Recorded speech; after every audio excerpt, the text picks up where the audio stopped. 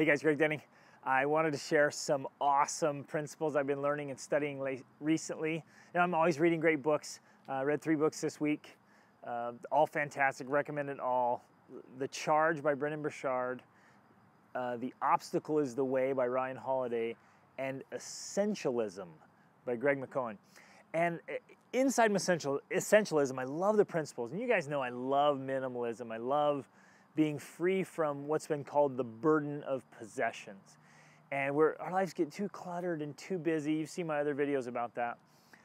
But there's this awesome idea of, uh, well, it almost almost a new idea. It's, it's minimalism, but it's with this idea of essentialism. Only keep the things in your life that are essential, that really add value. But you have to do it across the board. The discipline to your schedule, your relationships, the things you have and possess or that possess you, uh, what you choose to do with your time, with your work, with your hobbies. I really want you to be disciplined and, and kind of cut the fat, so to speak, and get down to where your life is literally packed with things that just bring so much meaning and value and fulfillment to you. So, so step back, take a look, and even track. What you can do is track right? Go through and kind of track your, go through your closet, go through your desk, go through your house, and then go through your schedule and kind of track what you do with your time, do with your food. Just go through every aspect of your life, each important role you have as a parent, as a friend, as a sibling, as a child, as a leader, uh, as a member of a certain organization or church or group. Just go through everything and say, what's, what's excess here?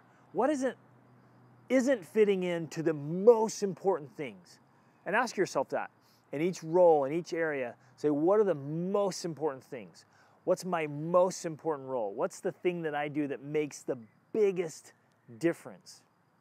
And the big takeaway is that if we don't prioritize our lives, then somebody else or something else will, right? It just kind of kind of creeps in like weeds into your garden if we don't if we don't make space and keep them out, then they come on in and they take over, and all of a sudden we're kind of feeling frustrated and we don't have the energy we want, we don't have the time we need, we're, we're feeling unfulfilled, and just kind of like life gets really kind of disturbing. You feel kind of bothered. But if we can clear the clutter, then we everything's purposeful. And man, I, if I look back to the last you know 10, 20 years, the best times are when the clutter's gone and I'm focusing on the things that matter most.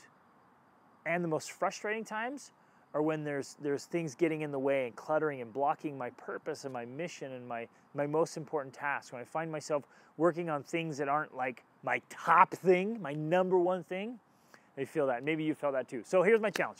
Go through your life, identify clearly identify what's essential have the discipline and determination to get rid of the clutter, the excess that's kind of getting in the way, and just get dialed in so you're living totally purpose-filled life.